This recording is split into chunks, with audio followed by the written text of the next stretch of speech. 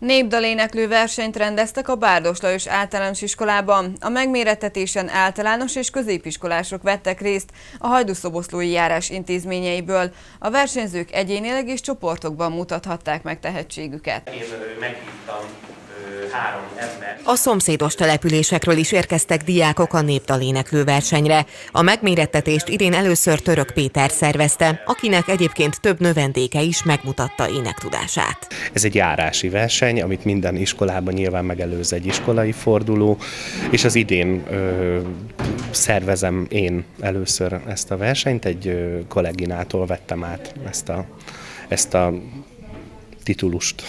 Általános iskolás gyermekek vesznek részt rajta? Általános és középiskolásoknak van hirdetve, sajnos a középiskolás korosztályra már kevésbé jellemző, de most is lesznek a gimiből is versenyzők.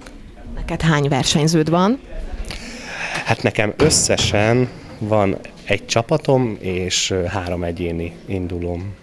Ugye ezt itt előzetesen beszéltük, hogy inkább lányok indulnak, fiúk kevésbé. Ez miért lehet? A fiúk olyan ötödikes koruk vagy hatodikos korukra elveszítik a, a magukba vetett hitüket általában. Nagyon nehéz fenntartani, ugye ők már közelítenek a, a mutálás felé, és ez nyilván kényelmetlen nekik. Nagyon nehéz őket rávenni, de, de egyébként so, szokott előfordulni, tehát vannak fiúk. A verseny menete hogy néz majd ki? Kicsikkel kezdünk, aztán a nagyobbakkal folytatjuk, és a legnagyobbakkal zárjuk. Szokásos háromtagú zsűri. Szokásos háromtagú zsűri, ami most először van így egyébként, eddig a kollégák pontozták a gyerekeket.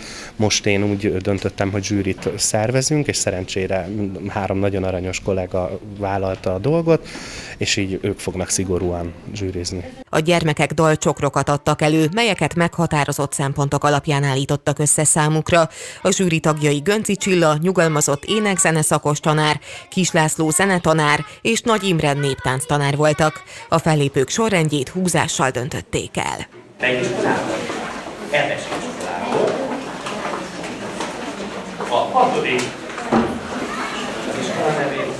A versenyt közös éneklés nyitotta meg.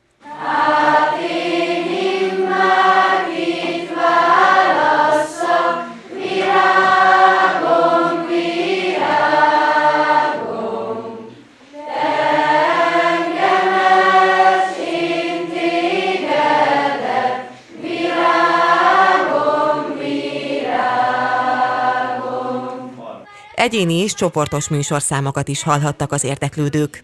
Este kívé jött volt, kilenc a methez ott volt, mind a kilenc rohadt hús, a legény is egy rossz volt. Tegnap kívé jött volt, kilenc a methez ott volt, mind a kilenc piros hús, a legény is egy jó volt. A verseny előtt beszélgettünk a Török Péter által felkészített lánycsapattal, akik izgatottan várták, hogy színpadra állhassanak. No lányok, hát először is ki izgul?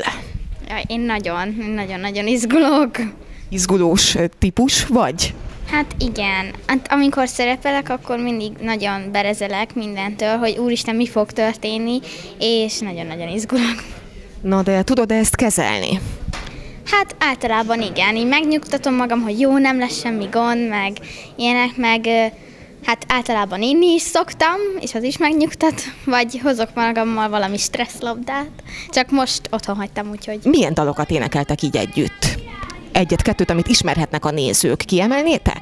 Hát, öm, fehér galamb száll a tavasútra, öm, ha felülök a fekete halomra, és... Jaj, de szépen esik az eső.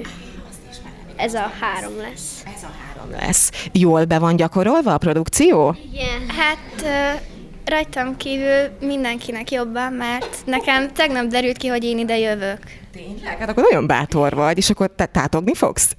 Ö, nem, ö, megtanultam, csak ö, izgulok most. Persze, persze, hát ez egyértelmű. Ének órákon egyébként ezeket a dalokat tanuljátok, vagy most speciálisan? Ö, Ö, nem, csak most speciálisan választott Peti bácsi három-négy dalt, és ezt így erre. A gyermekek nagy türelemmel és érdeklődéssel hallgatták egymást.